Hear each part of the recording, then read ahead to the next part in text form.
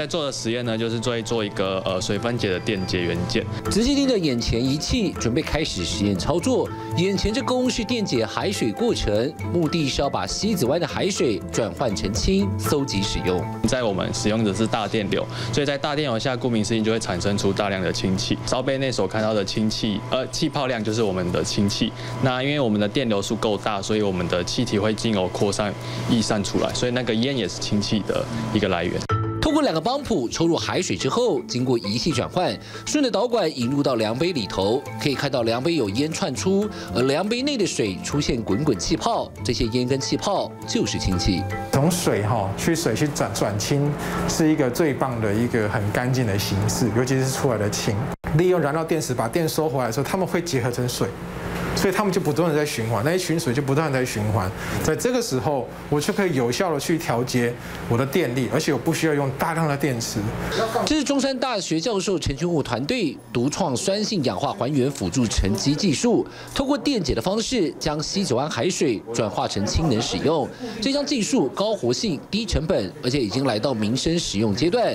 研究成果登上国际顶尖期刊《美国化学会能源快报》。氢的能源议题上啊。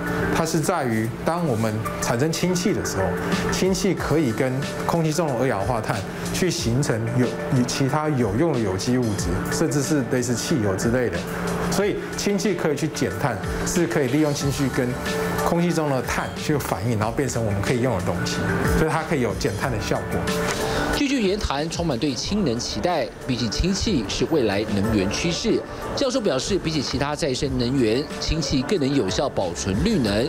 电解水产生氢气，有鉴于过去储能是能源发展的关键，氢能运用可以作为再生资源储能解决方案之一。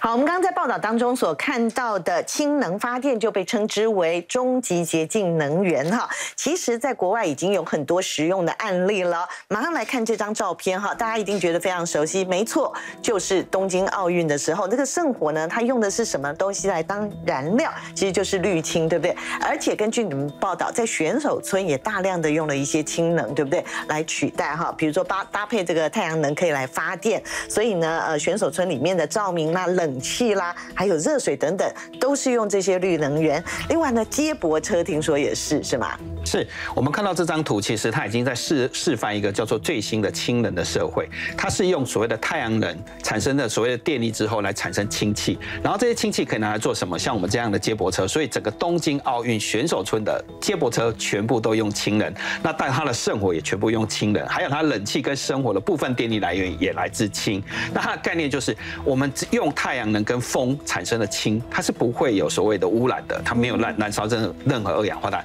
接着它产生动力之后，亮相推动汽车车在动的时候，它其实排出的是水，也没有二氧化碳，所以完全是用氢来所谓的推动整个社会。不止日本是在奥运村也这样的话，像我最近刚去德国，德国也在未来三年内，它要产生一百万吨的氢来作为工业使用哦。这里还不是所谓的火车啦、公车啦，包括它的蒂森克鲁伯钢铁以后，因为我们刚才看到了所谓的车子在动用氢气，可是它连钢铁也要用氢气，那它为什么有这个概念？是因为钢铁如果用氢氢气来生产，它也没有碳。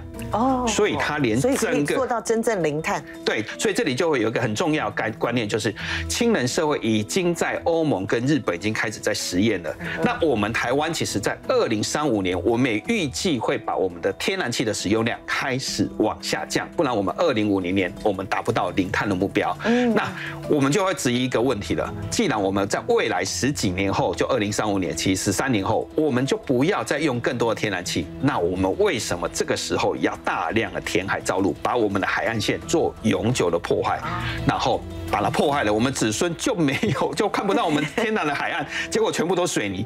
可事实上，你十三年后。你会慢慢的减少，甚至在欧洲跟日本这些国家已经没有要使用这个东西。难怪，但是问题来了，就是我们刚刚讲的欧洲、日本，他们的这个氢能的脚步走得相当的快速，对，包括了我知道您刚从这个德国采访回来嘛，也看到了德国的进展啊。但是台湾到底有没有机会也来发展这个氢能呢？现在的进度到底是如何？据说以后在北中南都希望有一个氢谷计划吗？像我们台湾以以高雄来讲，或台中或台北这样的都会区。来讲，第一个像高雄，高雄是一个钢铁重重镇。那我们台湾的中钢一年生产两千万吨的钢铁，它从盖高炉开始那一天，就是蒂森克鲁伯，德国的蒂森克鲁伯教他怎么去操作锅炉了。所以当蒂森克鲁伯，德国的蒂森克鲁伯开始在做所谓的氢能炼钢的时候，其实中钢也开始在做了。所以当中钢也开始使用所谓的大量的氢气，像欧洲欧盟要三年用一百万吨，那它规模够大的时候，它就可以用在我们的公车。我们的火车，甚至我们的台积电也用大量的氢气在制程上面使用，所以，我们台湾其实从高雄的中钢到台中到台北都会区，其实都可以改成氢气，像欧洲那样，就不用说还要使用大量的天然气。那当你大量使用氢气的时候，就会开始进入所谓的零碳社会了。嗯，好，非常谢谢国珍今天来到节目哈，带给我们非常重要的一个观念。其实大家的观念也必须要翻转了，也希望台湾的能源也能够来一个大翻转。今天非常谢谢。当然，我们今天节目目探讨了这个地震的天灾，还有人为建设，都很可能为我们珍爱的台湾带来呢无可避免的威胁跟隐忧啦。不过呢，能够早一些提出预警，还是非常难能可贵的哈，让我们能够远离灾害，永保平安。今天非常谢谢您的加入，我是庄开文，我在提观点，我们下次同一时间再见了，拜拜。